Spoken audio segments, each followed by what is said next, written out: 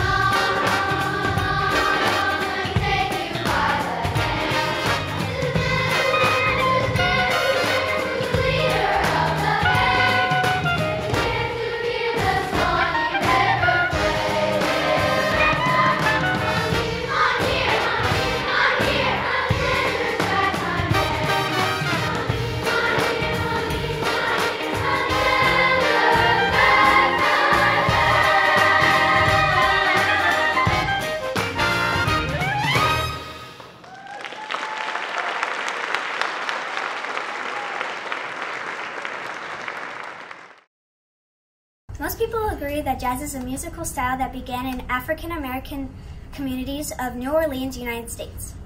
It also incorporated sounds of the Caribbean islands.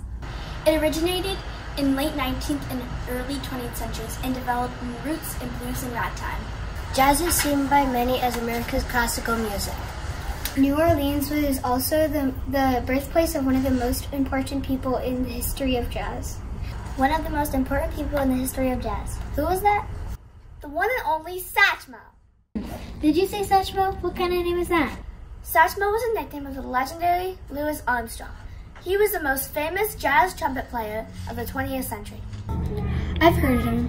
He was a singer with a gravelly voice. And all I'm saying is see what a wonderful world it would be if only we'd give it a chance. Yeah, you sound just like old Satchmo. It's so cool how jazz singers use their voices in different ways. Absolutely, no doubt about it. Jazz was born in America.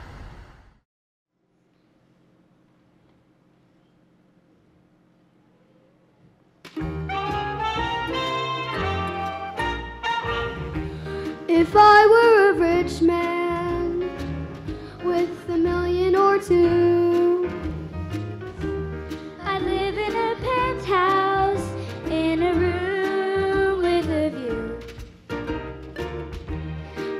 if I were handsome, no way, it could happen, cause dreams do come true. I wouldn't have nothing if I didn't have you.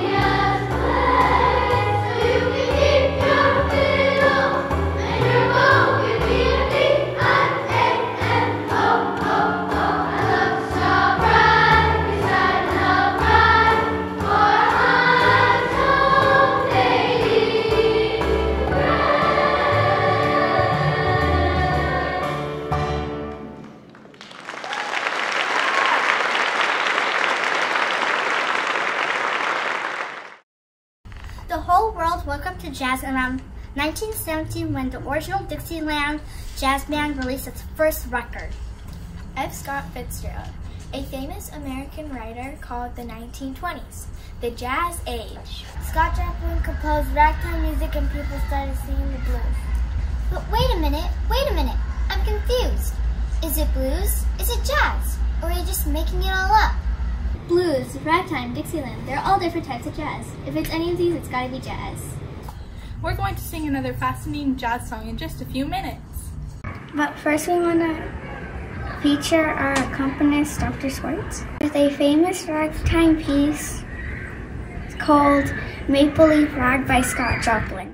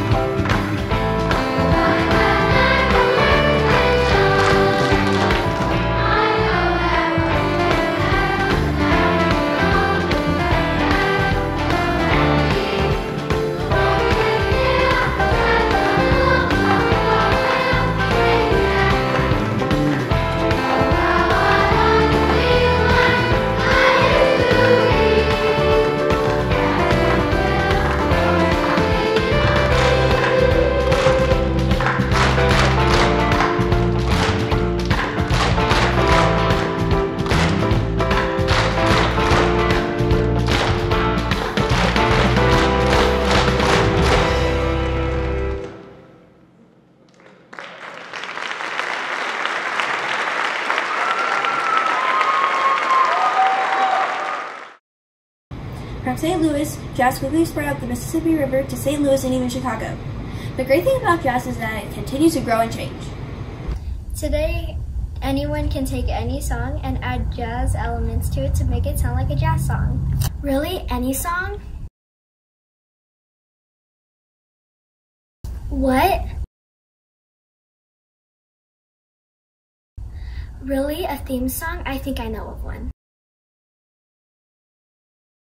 I heard it when I went to a vintage movie theater in New Orleans on Basin Street.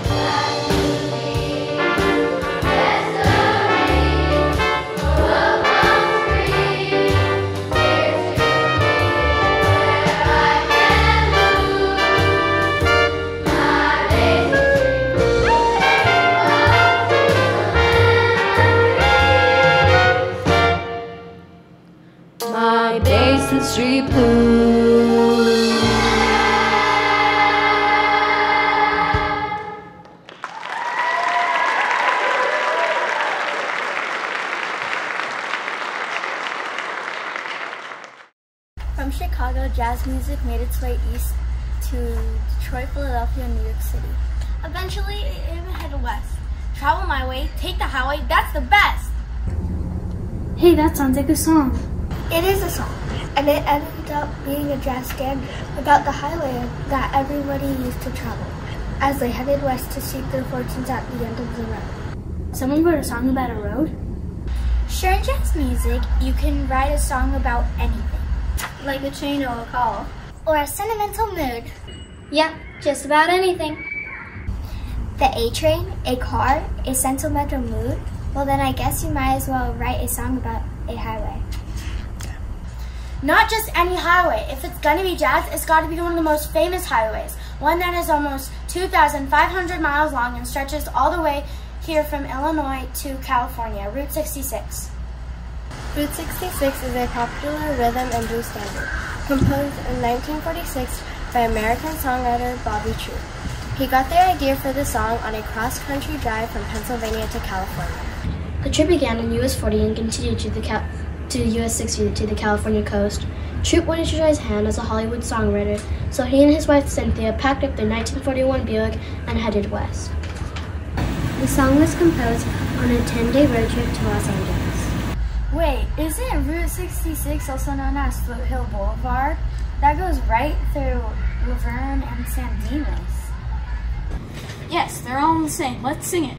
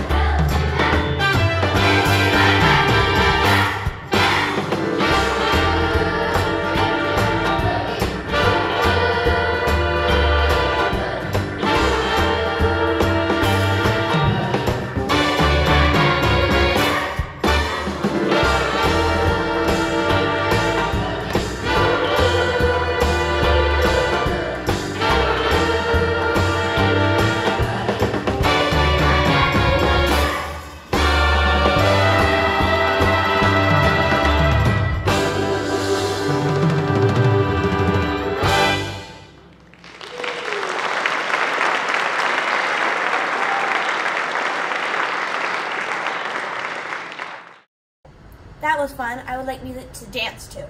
You mean like the waltz? Not quite what I had in mind. How about the foxtrot? No thanks.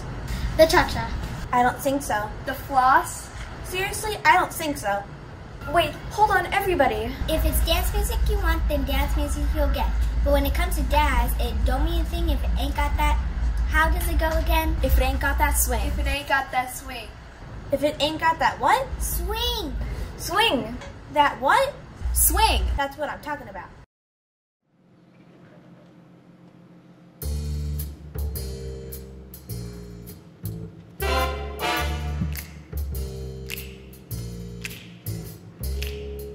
What good is melody?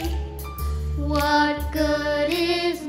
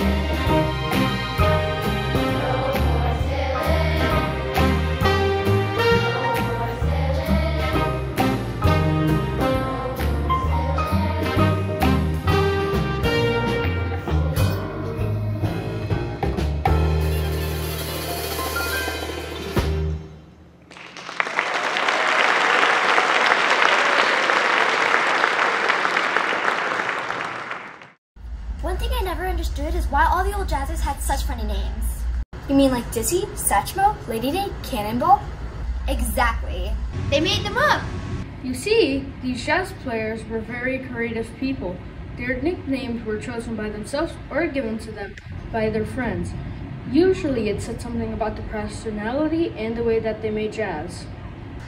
The great jazz trumpet player, John Birks Gillespie, was nicknamed Dizzy because he acted silly and wild on stage. And sometimes people even nickname even shortened his name. For example, John Coltrane's nickname was Train. Satch Satchmo's nickname was Satchmouth, but his workers made fun of him, so he shortened it to Satchmo. Julian Edward Adderley was another great jazz saxophone player. He was nicknamed Cannonball because he was round like a ball. Billie Holiday was one of the first and greatest American jazz singers. She was inducted into the Rock and Roll Hall of Fame, and her nickname was Lady Day. A lot of jazz is about being creative and and with names as well as music. And yes, it's called improvisation. Dizzy, Satchmo, Lady Day, Jelly Roll, and many others were good at it too. And probably none was better than the saxophone playing kid from Kansas that some people knew known as Charlie Parker, but whose friends knew him as Yardbird. Yard Yardbird? I thought Charlie's nickname was Bird. You're both right. It's it first started out as Yardbird, but some of but some of his friends called him Bird. Did you know that bird was a type of bebop record? Bebop is a type of jazz that uses a fast tempo. No, I didn't know that. Say, let's meet in Birdland learn all about it.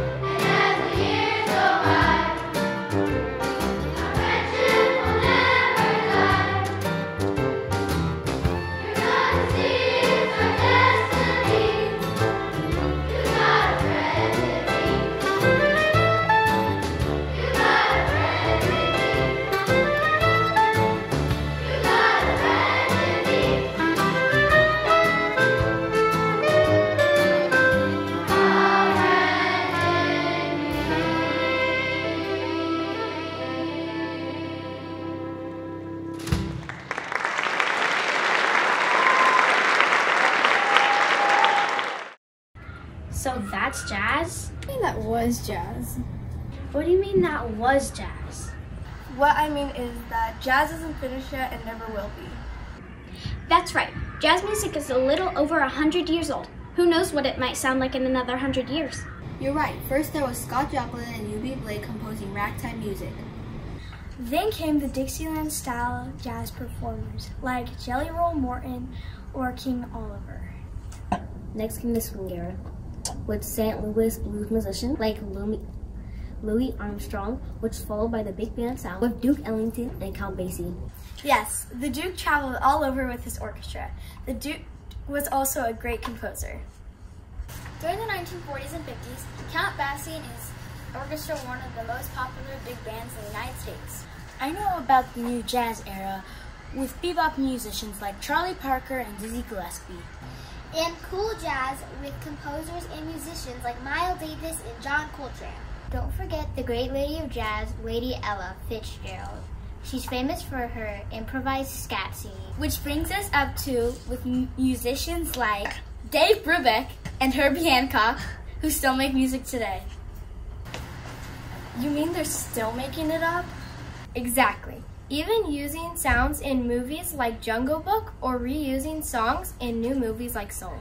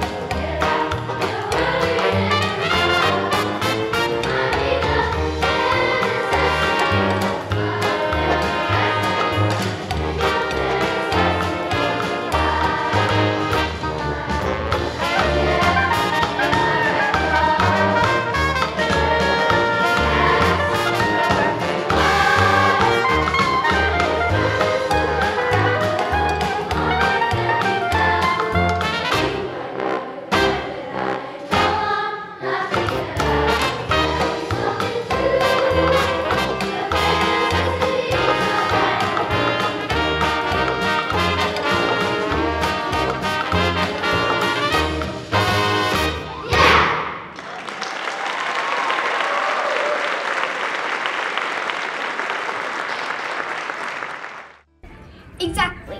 But whether you're here in New Orleans or New York, Rio de Janeiro or Bombay, Melbourne or Cape Town or even the whole world.